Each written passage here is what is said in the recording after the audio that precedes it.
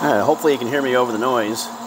Um, I've uh, been fortunate enough to have uh, Pokit sent me a second Pokit Pro uh, in order to do some videos and some content on uh, the multi-channel use of the Pokit Pro. You know, they didn't tell me what to say or anything, so I'm free to critique or evaluate as I see fit. Um, it's no secret that I'm a fan of the Pokit Pro. You can, if you've seen any of my other videos, but uh, um, I'm excited now to have two of these so I can do some multi-channel stuff.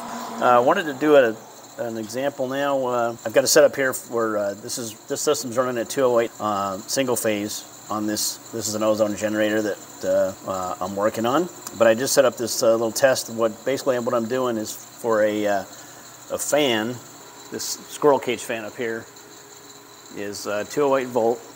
I've got it coming out of this circuit breaker. I put some jumper leads out here so I can tie it in uh, I have my yellow Pokit Pro set for amperage, AC amps, and then my uh, orange Pokit Pro, the new one, I got it set for voltage. So I'm watching the single phase voltage, leg to leg, with the orange one, and then the other one's watching amperage. So uh, when we activate the circuit breaker, we'll be able to watch the, uh, uh the amps and the volts uh, at the same time, which is pretty cool.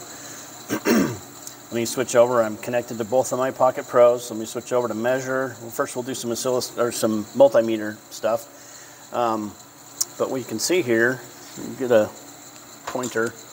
Um, number one channel I've got set for AC amps. So you can see current AC here. Um, I'll have an overlay of this on the video, but uh, you can see from the camera angle. Uh, Channel 1 is the yellow one that is set for AC current. And then if I switch over to channel 2, I got that one set for AC voltage. And uh, you can only see one view at a time on the main screen, but you can see the simultaneous voltages and amperages or whatever, uh, whatever parameter you're reading. You can see both of those simultaneously down here below uh, on the two channels. And then if you have more channels, I'm guessing that it'll shrink those boxes so that you can get all four down there. Um, so let's go ahead and kick on the breaker. That'll turn this fan on so it might get a little bit noisy. But we can watch the current and the amperage at the same time. So uh, right now we got 211.8 volts AC leg to leg on that branch. And then uh, we'll switch over to the amperage here. I can see the 0.25 amps that it's uh, of AC current that is taken to run that fan. then of course you can also turn on your functions. I have them on right now, but you've got a minimum and a maximum functions to see the min-max. Um, in case there was any uh, inrush or whatever current, you can see that. so, so multi-channel multimeter is pretty nice. You can see multi things. Now if you got those together, and then you can figure out wattage and everything on that. Um, now, let's switch that off to get rid of the noise. Now let's take a look at the, uh, the uh, data logger function.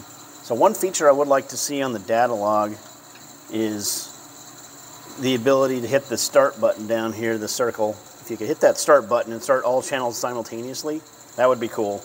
Uh, as it is now, you've got to start each one separately, which is not a terrible problem because you can start them pretty quick. And the maximum data log time is half second you can switch between channels and start each one uh, pretty rapidly. You know, so basically you, might miss a frame or two on that.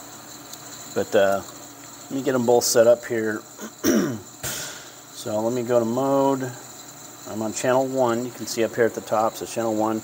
Uh, we're looking at AC amperage, and we're only running uh, what was that amperage? 250 milliamps or something. So let's uh, switch this to a I don't know, 100 milliamps per division, and we'll do 500 milliseconds. So every half second we'll do a, a, a sample. Now let's switch over to channel two. And then this one is set for, uh, let's set it for AC voltage. Now this is 200 volts, so we don't want to, you got to get a, let's do like 100 volts per division. Also 500 milliseconds. So what I'm going to do here is get this started before I actually hit power, and then I'll be able to see that inrush of power. So uh, what I'm going to do is hit the start for channel 1, and then I'll switch over to channel 2 real quick, and then I'll hit start again to get both channels running. So start, start. Okay, so now I should be able to toggle back and forth between both channels and you can see both uh, channels are data logging.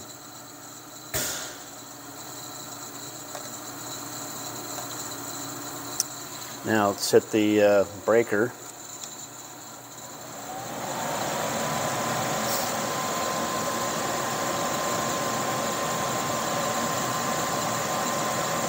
Yeah, so our uh, voltage, you can see our voltage at 100, mil, 100 volts per division. We went up one 200 volts, just, just a little bit over 200 volts.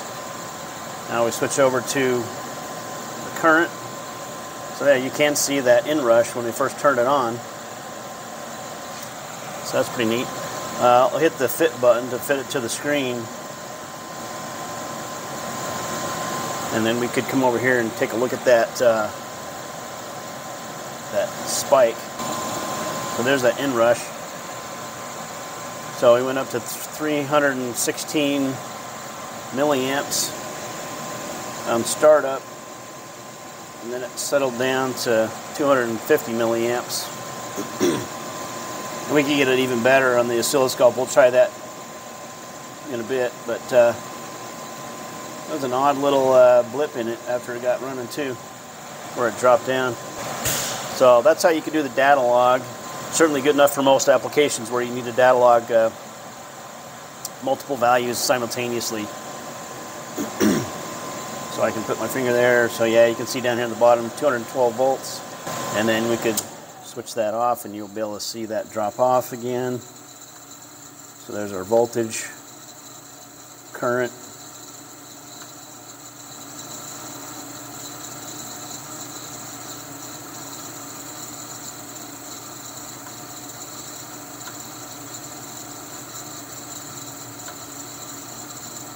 It's interesting that it seems to be reading 55 milliamps. Nothing's even on. And then what you would want to do, you could uh, save this and then export that information via CSV file. So I'm going to stop that data log, stop that data log. So now they're both stopped. Uh, and I think I'm going to have to save them both separately. So there's the channel 2 saved. Switch over to channel 1, save that one. Now, if I pull up the history, it should tell me what channel. Yeah, so you can see the top one here, channel 1, that was the, uh, and that tells you the amperage range, and then uh, channel 2, 600 volts AC. So each of those um, data logs is saved into separate files, so you would have to import those into uh, Excel or some other uh, CSV editor, and then you could combine that data together to make a graph and do some calculations on power or whatnot. Okay, so now let's switch over to uh, oscilloscope mode. So channel 1, amperage. Let's do uh, 50 milliamps per division. AC amps, 20 milliseconds. Now we'll switch over to the voltage. We'll set that one up. For that, we need uh, 100 volts per division, AC voltage, also 20 milliseconds. Trigger, let's do a, uh, a one-time rising trigger on channel 2 so that it'll turn on as soon as we get the voltage kicks on, we'll be able to see that, uh, that value. Now, on the oscilloscope, they do both start simultaneously, so it doesn't matter which channel you have it on. So we'll start the, uh, I know I jumped over there. This is where you're going to see the first year. It's not captured anything yet because I haven't uh, hit the trigger point yet. So let's turn on the voltage here and uh, we should get a snapshot of that inrush.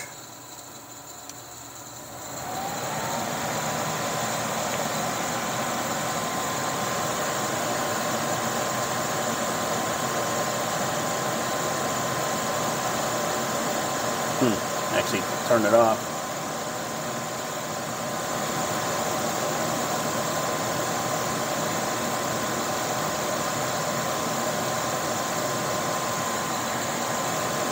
So channel one is exceeding our.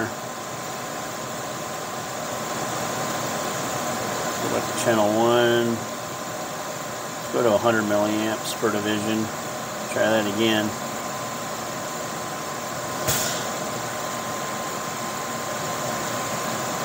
See if we can get a better form here. Uh, let's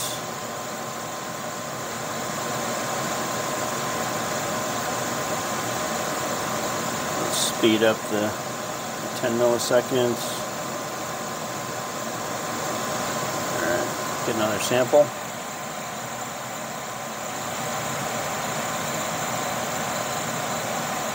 Yeah, so you can see the current comes in just ahead of the voltage.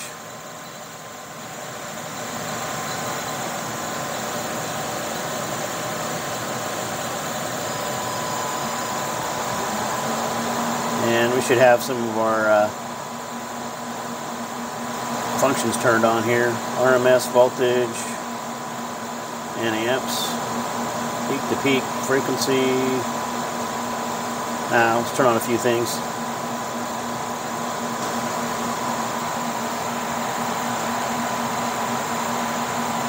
Yeah, so my RMS voltage 212, peak to peak 593 volts. 59.38 hertz, so that's line frequency.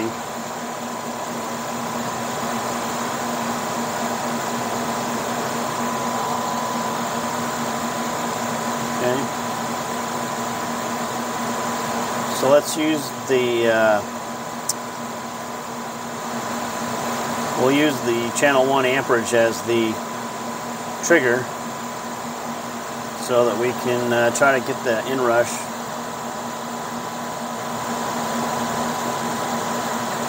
See if we can capture that. Turn that back off. Start our oscilloscope. Now we'll turn it on. We should be able to get an inrush. There we go.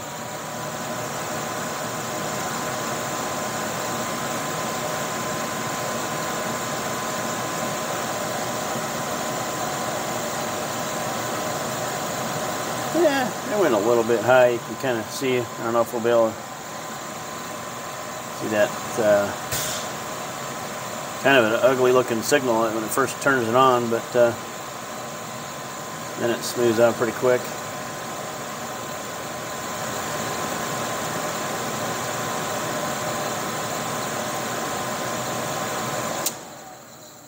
Alright, so let me rewire this and I'll set them up to watch both phases at the same time. We'll be able to see the two sine waves uh, offset. So let's take a look at that. So you need to set up the, both of them as voltage. You want to make sure that you do that before you rewire anything. If you leave something set for voltage and then you hook it up, or excuse me, set it up for amps and you hook it up to voltage, you're just going to smoke the meter. So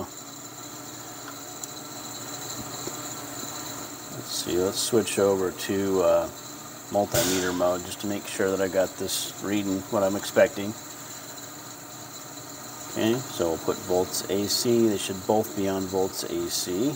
They are. Okay.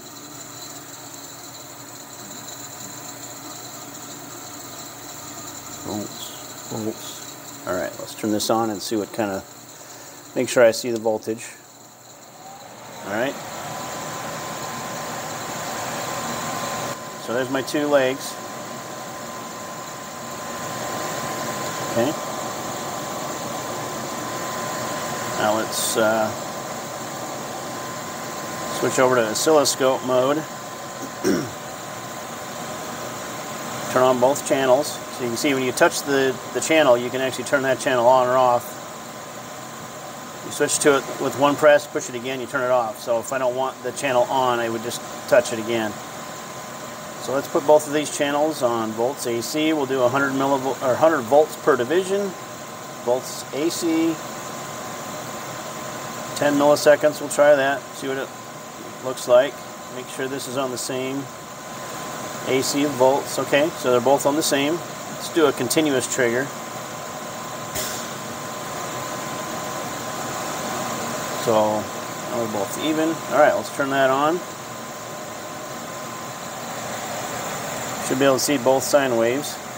Yeah, excellent. So you can see they're offset by 180 degrees. So if we had three phases, we can see that as well. And you know the voltages are so similar, but uh, let's just go ahead and switch over to logger mode and just kind of see how that does the exact same thing. So low voltage, AC. Go to channel two. Same settings. So we'll start one and start the second one. We'll do fit. So now if we turn that off, we'll see a drop. We can see that on both channels. Turn it back on, we'll see it climb back up.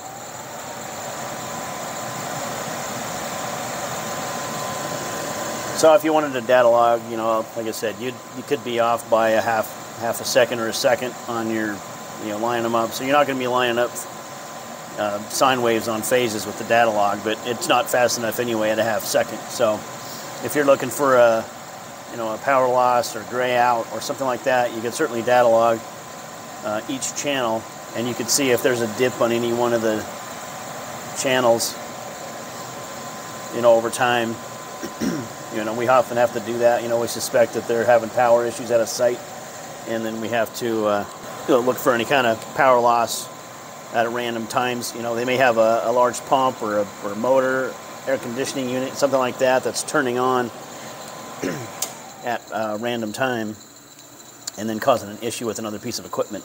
You know we can watch for that with this data log over over time. So this is uh, pretty useful to have these multi-channels. The data log feature has probably been the nicest thing that I've been using uh, at my sites to to get duty cycles and things for various uh, equipment. You know, a heater on-off time duty cycle, uh, air compressor on-off time duty cycle, things like that. It's been really useful to have. Pretty useful. Uh, excited to try to get myself a, another Pokit and do some three-phase stuff and uh, see what that looks like. But uh, based on what I see here, this is going to be super useful to have multi-channel capabilities. Thanks for watching. If you got any uh, ideas or thoughts or comments for uh, all the viewers, put it in the comments below. Um, if you're interested in these, you know, please use our affiliate link below. That uh, helps the channel to keep doing videos like this and, and getting more equipment to to demonstrate it and and do some how-to tutorials for you guys. So. Appreciate you using those links, and uh, thanks for watching. Take care.